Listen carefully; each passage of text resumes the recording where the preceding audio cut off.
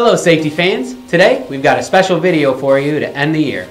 While total workplace injuries and deaths have been on a decline in recent years, OSHA still issues thousands of citations each year. Today we're presenting 2016's top 10 most cited violations. Let's jump right into the list. Number 10. General electrical requirements were cited 1,704 times. In 2014, electrocutions caused 74 deaths in the construction industry, according to the Bureau of Labor Statistics, or BLS. Number 9. Electrical wiring was cited 1937 times. This standard covers grounding of electrical equipment, wiring, and insulation. Number 8. Machine guarding, with 2,448 citations, moved up one spot on the list from number 9 last year. Per the U.S. Department of Labor, about one half of workplace amputations occur in manufacturing, with poor machine guarding often to blame. Learn more about machine guarding and how to avoid injuries by watching our video here. Number 7. Ladders, something most of us use in our everyday lives, with 2,625 citations. Falls are the leading cause of death in construction, with about a third of those falls coming from ladders, according to OSHA. Number 6. Powered industrial trucks. This standard, which includes forklifts and motorized hand trucks, was cited 2,855 times. According to the BLS, about 20,000 workers are injured in forklift-related incidents each year. Stay safe don't operate hazardous machinery if you don't feel you were trained correctly or if the equipment looks damaged. Number 5. Lockout Tagout, also called Control of Hazardous Energy. It accounted for 3,406 violations in 2016.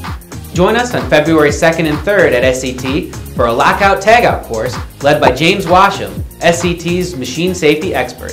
Visit our site or follow the link below to register. Number 4. Respiratory protection was cited 3,573 times. Have you heard about SCT Supply, our new division for all your safety supply needs? Visit sctsupply.com to shop from dozens of respirators among thousands of other quality products at low prices. Number 3. Scaffolds. In a BLS study, 72% of workers injured in scaffold incidents attributed the accident either to the planking or support giving way, or to the employee slipping or being struck by a falling object. The scaffolding standard was cited 3,900 times. Number 2. Hazard communication takes the second spot with 5,665 citations. OSHA's HAZCOM standard was recently aligned with the globally harmonized system of classification, which will give a common approach to classifying chemicals and also reduce international trade barriers. Number 1. Once again, fall protection tops the list with 6,906 citations.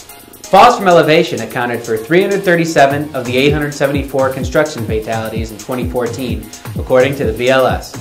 Even though many groups, including OSHA, recognize the National Safety Stand Down in May of each year, fall protection has been the most cited violation for several years. Do your part in 2017 to combat these violations. The experts at SCT can examine your workplace and help eliminate all of these hazards. Work with SCT as we strive to reach the ultimate goal of zero workplace deaths and injuries. Sign up for a training class at sct.us.com and head over to sctsupply.com to purchase equipment that'll keep you safe on the job. Until next time, here's to a safe 2017.